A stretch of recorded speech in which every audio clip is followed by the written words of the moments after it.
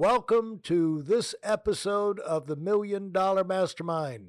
I'm Larry Weidel, and before we get started, if you want to know exactly how to win again and again, go to WeidelOnWinning.com forward slash webinar now to watch something I've put together for you. Now let's get going into this episode of Million Dollar Mastermind. I'm here this afternoon with Marc Lickfett, and he's punishing himself looking out on the Pacific Ocean out there in Malibu, California. Hello, Marc. Hi, Larry. Good to be here. It's great to have you here. Marc is a, it appears to be a serial entrepreneur, but he has most recently started a company called Knife Aid in 2019. And within the first year or so, he's on Shark Tank and he walks away with a $500,000 deal for 20% of the company. And uh, it looked like uh, the company's closing in on being the end of last year, closing in on $3 million in valuation, which is incredible. And so, Marc, welcome, man. Thanks so much. And how did talk about a little bit about your background because people people need to know that you did not grow up with everything easy for you. You know, you had uh, the hurdles to overcome, just like the rest of us. So let people know where you came from and, and why uh, uh, it's so exciting that you've been able to do what you've been able to do. Um, yes, so where I came from, that's actually a tough question because I'm sort of from all over Europe. So my my dad is a Swede, my mom is German. I spent a long time in Germany, uh, some time in Finland, Sweden, England, Switzerland. So it's kind of hard to say. I, I, guess I'm from Europe mainly, um, and my yeah, and it's it's really my dad is is very much a corporate man. So for me, going into entrepreneurship was far from obvious.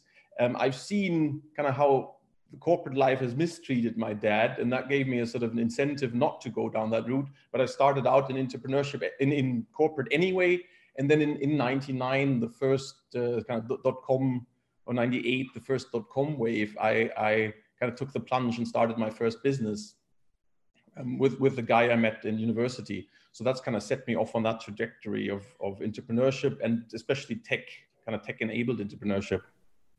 Were you interested in growing up, uh, Marc? What did you get your degree in? What are what are things that captivated your your interest?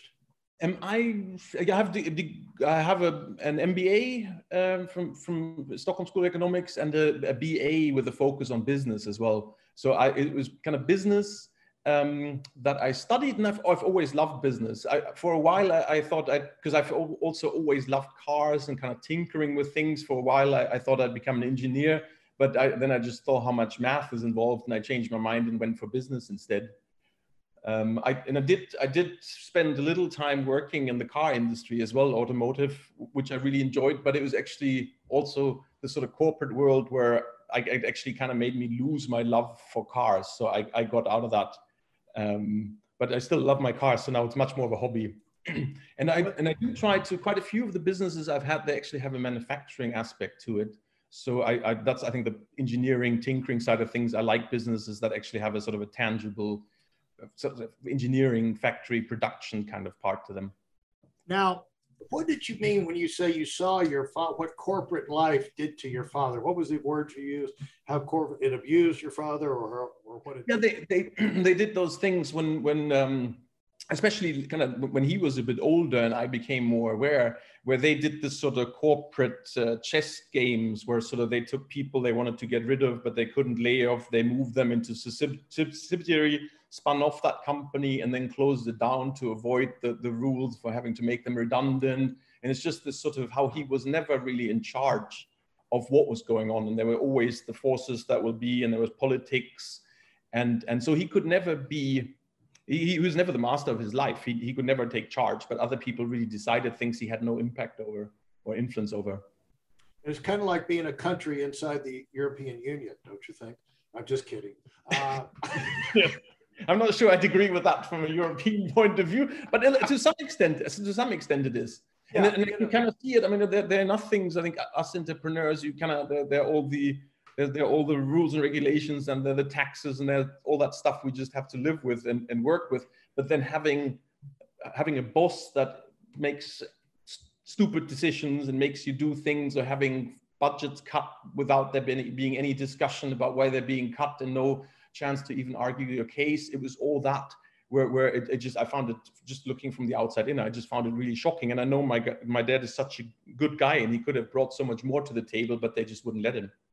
Well, you know, I'm glad this came up because I don't think I talk about it enough on here. That is the uh, for some people it's perfect. Uh, I've got uh, brother-in-law and I've got different friends that uh, work for the government or work inside corporations, and for some people it's it's okay, but for a huge majority of really talented, motivated people, it is uh, not, let's just say, well, number one, it's not that fulfilling, but it also not that rewarding in terms of being able to exercise your judgment, uh, be creative, move forward. And then, like you say, you have, you know, you can work hard for a particular boss in a particular department. And then all of a sudden that boss is gone. And the person that saw all of your effort for maybe the last 15 years he's gone. And then maybe they shut down that department like you talked about with your dad you know they they kind of move it over to the side. And then it's like it was like uh, why was i you know uh, my loyalty I, I thought this was going to pay off for me but everybody who would know what price i paid they're all gone. And, and so go ahead hey listen, there's a lot of information online, but there aren't a lot of people who've actually done something. In my case, I've actually built a successful business that's accrued over $5 billion in assets under management and has done well even during trying times. Now, if you want to know exactly how I've done this, go to weidelonwinning.com forward slash webinar now. I've compressed a decade of learning into five short weeks just for those of you who want to give yourself an incredible advantage and are tired of waiting and watching others move up. No, and I, I, I so agree. And I, I did have that experience because in, in my first company that I started in 99, we, we did amazingly well. It was a crazy ride, especially this was, I was still in my 20s and, and sort of 150 staff uh, reporting to me and just a, a big, a, a, really exciting journey. But then obviously we we had the dot com crash.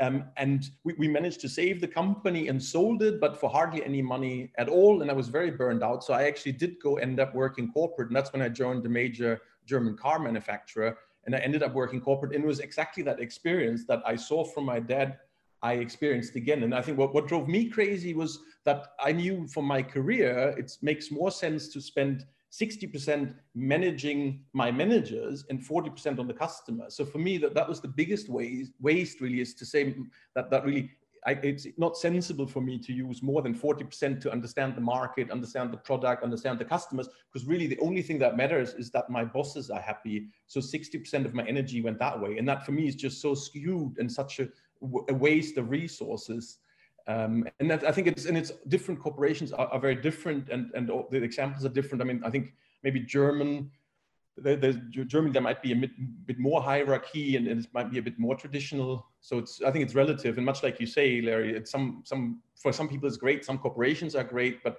I think my dad's experience and my own, they they definitely. Well, I'd much rather do my own thing with all the downsides that brings with it.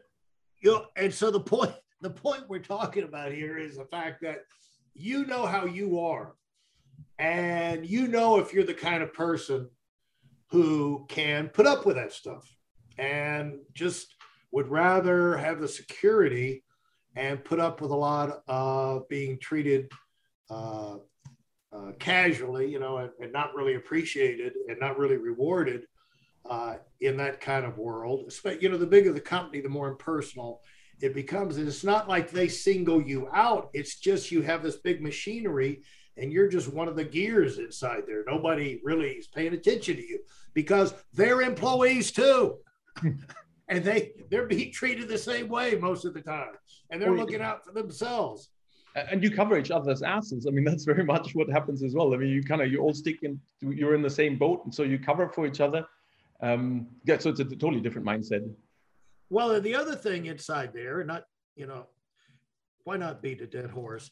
Uh, the thing is that what happens is you see a lack of courage because the people who will step out and take a bold stand, uh, you know, are usually the ones crushed. Because let's face it, most of the time you try new ideas, you have to sort through a bunch of them to find the real winner.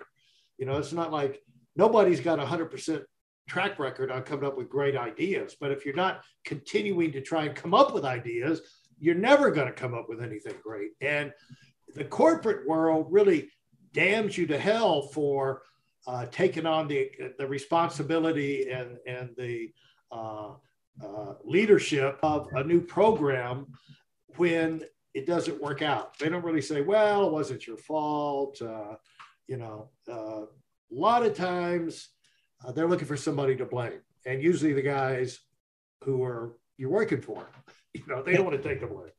No. And so it, it's frustrating for someone who can see a thousand ways the company can be more productive, but they can't do anything about it. And I guess what I would say, uh, what you and I are saying here, Marc, is that uh, if we had a message coming out of this uh, uh little time together, would be people need you need to, to come to a conclusion. It may be tough for you to be in business for yourself. It may be scary. It may be frightening. Uh, living on a commission or living off, you know, nothing guaranteed. It's starting a new new thing, and everyone looks at you and everyone says, "No, that'll never happen." As bad as that is, you've got to come to the conclusion about whether or not uh, you could ever tolerate working inside of a corporation or inside a job job. And if you can't, then you got to make what you got to make your thing work and not apologize about it. And so, Marc, do you have anything to say on that subject? Yeah, and I, I think there is. I mean, yeah, to, to, balance out the discussion in a way on that topic is, is there is obviously the flip side, which which I've also suffered is is really that it is much much harder to maintain good life work balance being an entrepreneur. So I think, I mean, that's one of the things as well where, where I think it's that it's so I, think it's a little bit maybe through life and through the different phases of life that that one might change their mind and kind of dip in and out of corporate maybe or just making that assessment as well to say that maybe maybe my my hobbies my family my health whatever it might be is is more important to me and a corporate corporate world might make it easier to balance the two. Um, so that's part of it. And then I think for myself, I, I, really love this idea of taking big risks in, in the 20s. I think anyone who's thinking about what to do in their 20s, because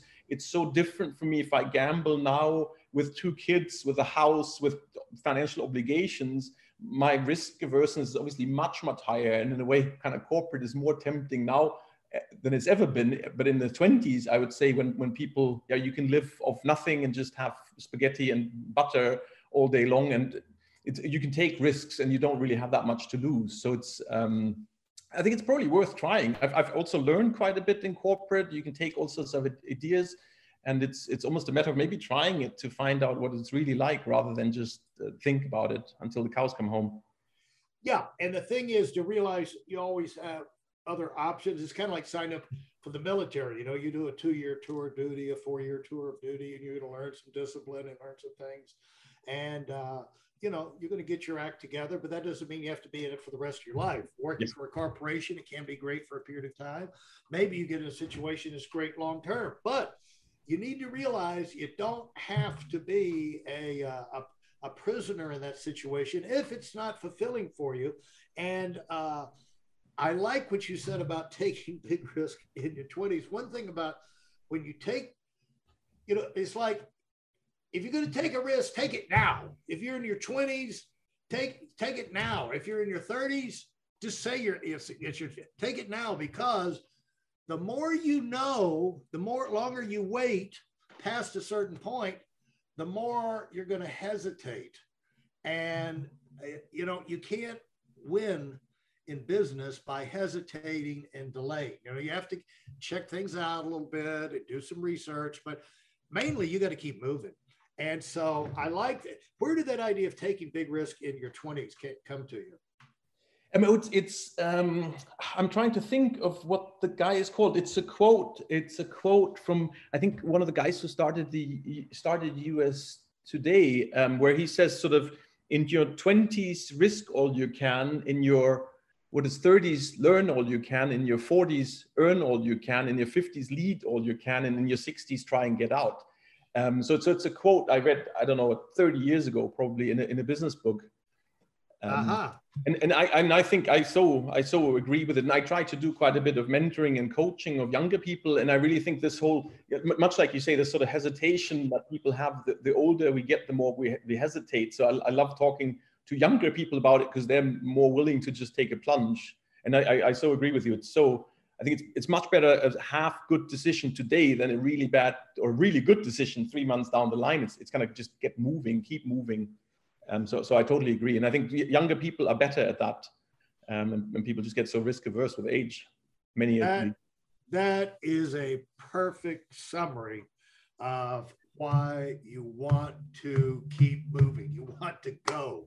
And until you go, you're not going to know. You're always going to doubt. So Thanks so much. If you enjoyed what you've heard and are dead serious about finding out for yourself exactly how this works in the real world, I've taken the most valuable business lessons I've learned over 40 years and put them into something for you to watch. Go to weidelonwinning.com forward slash webinar now in order to move up as fast as possible. I'm Larry Weidel, and I run the Million Dollar Mastermind. Go, go, go.